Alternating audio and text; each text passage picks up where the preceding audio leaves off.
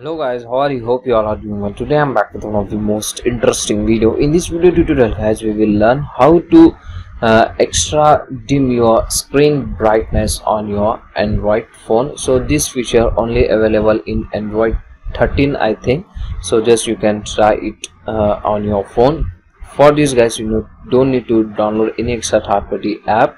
Just simply open your phone settings. In the phone settings scroll down and find out accessibility. Just tap and open it okay? And here uh, slightly scroll down here you can get the option extra dim dim screen beyond your phone's minimum brightness. If you want to use this feature just enable this option okay? Now it will forcefully uh, uh, reduce your screen brightness okay? So that's it for today guys. It's a short and simple video. If you want to extra dim your screen brightness you can use this feature okay? So hope you enjoy this. If you enjoy please guys like share and subscribe to our channel. Thank you very much